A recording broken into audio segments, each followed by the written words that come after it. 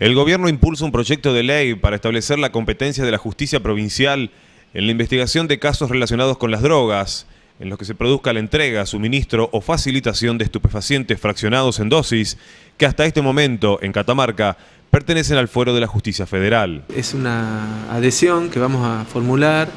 a la ley 26.052, que es eh, una excepción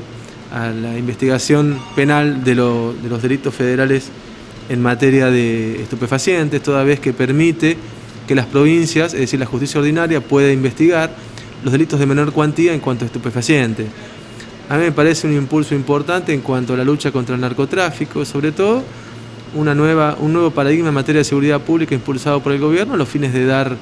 combate a este tema y este flagelo que es la droga. La iniciativa propone la adhesión a la Ley Nacional 26.052, que establece los permisos necesarios para que las provincias puedan participar en la lucha contra la droga, sobre todo en los delitos menores de estupefacientes que pasarían a la órbita provincial.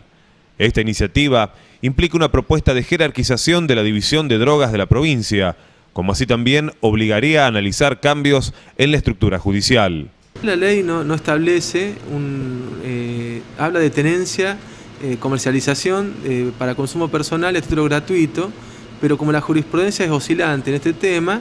eh, se va a tener que establecer, digamos que un parámetro a los fines de cuál va a ser la justicia que va a tener que investigar. En principio, la ley sí es clara que si se establece un conflicto de competencia siempre interviene la justicia federal. Yo creo que eh, una vez que,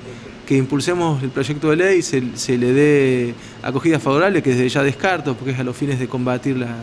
el narcotráfico, se verá una vez que se, instrumente esta ley eh, quién va a participar o quién no en la investigación de los delitos. Lo que sí es importante, porque la Policía Provincial cuenta con un número de efectivos eh, importantes para esta lucha ante la droga y por ahí eh, los juzgados federales al tener tanta competencia, por ahí están, está saturado, digamos, pero desde ya que para mí es importante en cuanto a la política pública encarada por el gobierno. En lo que respecta a la policía tendremos que crear y jerarquizar drogas peligrosas e incorporar nuevos, nuevo material humano con recursos tecnológicos acordes a, este tipo de investigación. En cuanto a materia judicial, yo creo que de los nueve fiscales y también se ha propuesto a, mediante un proyecto de ley con el fiscal de violencia de género, creo que los fiscales especiales o bien un fiscal que determine el procurador puede directamente llevar a cabo la investigación penal preparatoria, toda vez que los muchachos son idóneos y capaces para investigar este tipo de delitos. Sí creo que se debería crear un juzgado de control de garantías nuevo para este tipo de delitos porque son tres y están saturados de trabajo. La idea del gobierno es enviar el proyecto de ley en los próximos días para su tratamiento en la legislatura, por lo que en las próximas semanas se reunirían con los miembros de la Corte y concluirían la iniciativa.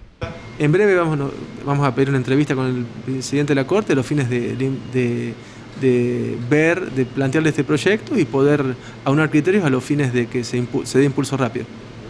la idea es que se pueda concretar en breve, digamos. Sí, en breve, en breve. Yo creo que la semana que viene o la otra ya vamos a estar mandando el proyecto si Dios quiere.